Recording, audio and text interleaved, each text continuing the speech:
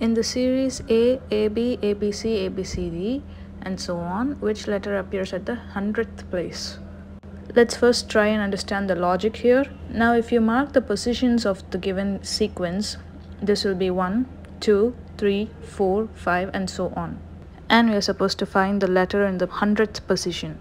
Now we cannot manually spend our time writing the whole sequence down till the hundredth position. Instead of that, let us find a logic here.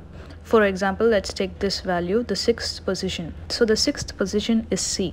Now I'm going to mark the first one as 1 and the second AB as 2, the next three ABC as 3 and the next 4 as 4 and so on. If you notice in this position, this C can also be arrived by adding these up. 1 plus 2 plus 3 equals 6 as well. So now that we know at the sixth position there is the third letter which is C.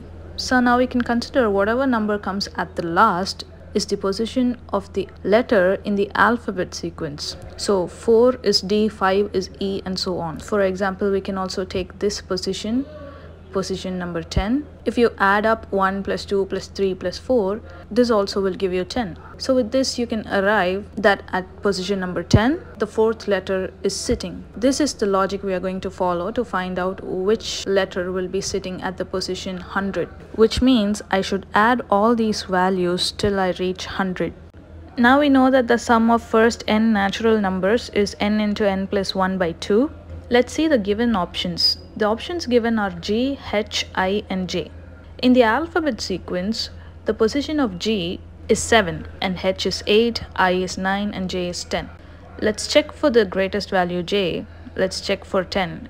Substituting n is equal to 10, we get 10 into 11 by 2 which is equal to 55 which is a lot lesser than 100 so we need to go more. Let's go for 13. 13 into 14 by 2 which is 91.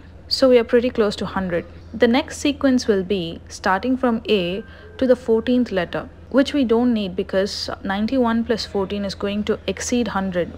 All we need is the 100th position. Now from 92, we know that it's going to start from A, 93 is B, 94 is C, and so on. So all we need is to find out what letter is occupying the ninth position.